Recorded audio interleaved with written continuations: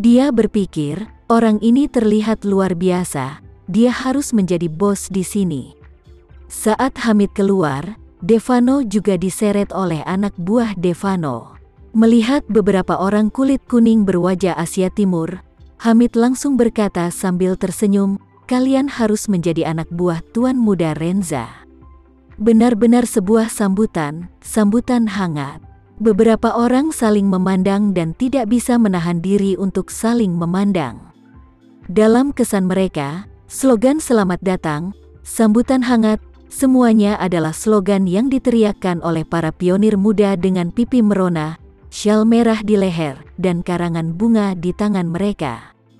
Tetapi mereka tidak pernah menyangka bahwa kata-kata ini akan diteriakkan dari seorang panglima perang Timur Tengah yang bertubuh besar lima dan tiga tahun dan memiliki jenggot. Orang yang berkepala itu adalah orang kepercayaan Devani, dan namanya adalah Ale. Melihat Hamid begitu sopan dan seperti panglima perang, dia tersenyum sopan dan bertanya, kamu harusnya Komandan Hamid. Hamid mengangguk dan berkata sambil tersenyum, Semuanya dari keluarga. Siapa nama komandan? Panggil saja aku Hamid. Setelah berbicara, dia berkata dengan sopan, pasti sangat sulit bagi saudara-saudara untuk datang dari jauh. Ayo, cepat minum secangkir teh dan istirahatlah. Ale menunjuk ke Zain dan berkata kepada Hamid, Komandan, ini adalah Tuan Zain Sucipro yang diminta Tuan muda kita untuk kita bawa untuk mengalami hidup. Setelah mengatakan itu, dia menarik segenggam kerah henta, menariknya ke depannya, dan berkata kepada Hamid, Komandan, Tuan kita telah memerintahkan, biarkan aku memberitahumu, apa pun yang terjadi. Pria ini akan tinggal di sini dengan baik. Selain itu, kamu tidak perlu terlalu banyak membawanya. Awasi saja dia dan jangan biarkan dia berlarian. Selain itu, Taruh dia di benteng bunker selama perang dan jangan biarkan dia terluka. Itu saja. Air mata Zain hampir saja menetes saat mendengar ini. Apakah ini manusia yang berbicara sialan itu? Aku telah menghabiskan 100 juta dolar Amerika, tetapi sebagai ganti hukuman, jangan terlalu peduli. Tetapi Zai tidak berani untuk marah tetapi tidak berani berbicara, dan dia bahkan tidak berani menunjukkan emosinya yang tidak bahagia di wajahnya. Bagaimanapun, Hamid ini adalah teman Tama Renza, dan sepertinya dia cukup setia kepada Tama Renza. Jika dia tidak bahagia, dia akan mengurangi perawatannya atau bahkan menyiksanya, maka itu tidak akan sepadan dengan kerugiannya. Ketika dia berpikir bahwa dia akan diurus oleh Hamid untuk waktu yang lama di masa depan, atau bahwa dia akan berbelas kasihan dari anak buahnya. Zain harus gigit jari dan memujinya, Halo, Komandan, aku telah mengagumi namamu untuk waktu yang lama. Suatu kehormatan besar bertemu denganmu hari ini. Setelah berbicara, dia diam-diam menatap Hamid. Kemudian berpikir sendiri, sekilas, meskipun perangkat keras di Hamid sudah sangat tua dan terbelakang, setidaknya ada seribu tentara, dan setelah masuk, aku telah melihat banyak senjata dan perlengkapan yang relatif modern. Bagaimana aku bisa mengatakan ini? Orang itu juga seorang panglima perang di satu sisi, dan dia pasti memiliki sedikit kekuatan keras. Namun, secara logika, orang seperti ini yang meletakkan kepalanya di pinggangnya untuk mengemis hidup seharusnya sangat sombong di alam. Bahkan Presiden Amerika Serikat mungkin belum tentu melihatnya. Bagaimana dia bisa mengangguk dan membungkuk pada anak laki-laki Tamarenza? Bu, tidak masuk akal. Hamid kemudian melirik ke arah Zain dan berkata tanpa senyuman, kamu tidak perlu menamparku, perlakuan seperti apa yang akan kamu dapatkan di sini di masa depan, kehidupan seperti apa yang akan kamu jalani di sini, ini bukan milikku. Keputusan Saudara Renzalah yang bertanggung jawab. Dia mengizinkanmu tinggal di halaman kecil sendirian, dan kamu bisa tinggal di halaman kecil sendirian. Tapi jika dia mengizinkanmu tidur di kandang domba, kamu hanya bisa pergi ke kandang domba. Zain hanya bisa menemani wajah yang tersenyum, mengangguk dan membungkukkan pinggangnya, berkata, itu saja. semuanya sudah diputuskan oleh Master Renza. Hamid terlalu malas untuk memperhatikannya, dan tersenyum dan berkata kepada Hale, Tolong beritahu Bro Renza, setelah orang ini diserahkan kepadaku, jangan khawatir, selama aku masih hidup, aku tidak akan membiarkannya mati. Jika tempat ini direbut oleh musuh, aku akan menghancurkannya dengan satu tembakan sebelum aku mati, dan aku tidak akan pernah membiarkan dia jatuh ke tangan musuh. Zain hendak memarahi ibunya di dalam hatinya, dan diam-diam memarahi, bagaimana tingkat melek hurufmu?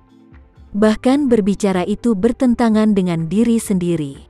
Sambil mengatakan itu selama kamu hidup, kamu tidak akan membiarkan aku mati, dan pada saat yang sama, katakan jika ada yang tidak beres. Kamu memukulku sampai mati dulu dan kemudian kamu mati. Bukankah ini benar-benar omong kosong? Hamid tidak punya waktu untuk mengurus Zain.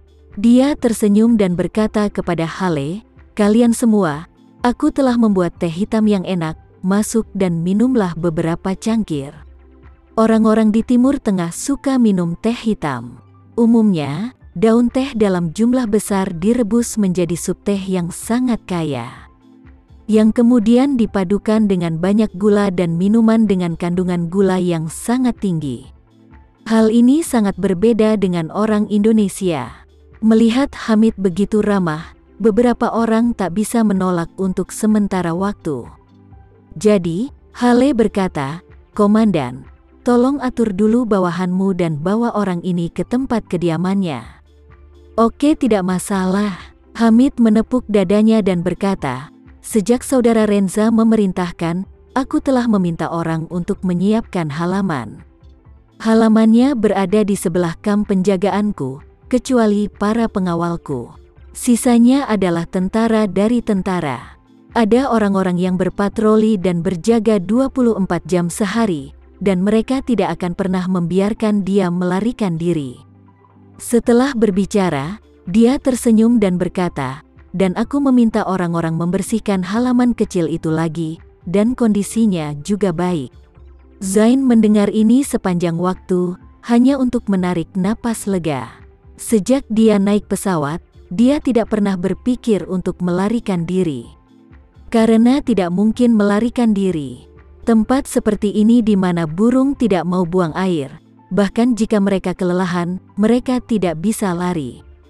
Terlebih lagi, daerah sekitarnya dipenuhi tentara dengan peluru tajam. Jika pihak lain menemukan bahwa beberapa peluru datang, tidak ada kemungkinan dia dapat menyimpan seluruh tubuh. Karena itu, dia hanya bisa memaksakan diri untuk beradaptasi. Adapun masa depan, dia hanya bisa berharap putrinya, Ayu Sucipto, dapat mewarisi keluarga Sucipto sesegera mungkin. Tapi dia berubah pikiran dan berpikir lagi. Biarkan Ayu mewarisi keluarga Sucipto, dan kemungkinannya hampir nol. Mari kita tidak membicarakan tentang lelaki tua yang tidak akan pernah mendelegasikan kekuasaan sampai kematian, Bahkan jika dia bersedia untuk mendelegasikan kekuasaan, saudara-saudariku, dapat rela membiarkan Ayu seorang gadis yang mewarisi keluarga Sucipto. Aku takut ini akan memulai pertempuran keluarga yang belum pernah terjadi sebelumnya. Memikirkan hal ini, dia merasa semakin putus asa. Aku tidak tahu berapa lama dan kapan perjalanan suriahku akan berakhir. Segera, Zain dibawa oleh pengawal pribadi Hamid ke sebuah rumah pertanian kecil beberapa ratus meter dari markas. Dari luar, halaman kecil ini hampir seluruhnya terbuat dari loos, dengan dinding tanah dan rumah dari tanah. Kecuali untuk genteng, yang tampak seperti terbakar, hampir tidak ada jejak pengolahan modern. Halaman kecil itu tidak besar. Halaman setelah masuk hanya seukuran lapangan basket. Ada kandang sapi di sisi kanan pintu masuk, tetapi tidak ada hewan di dalamnya. Sedangkan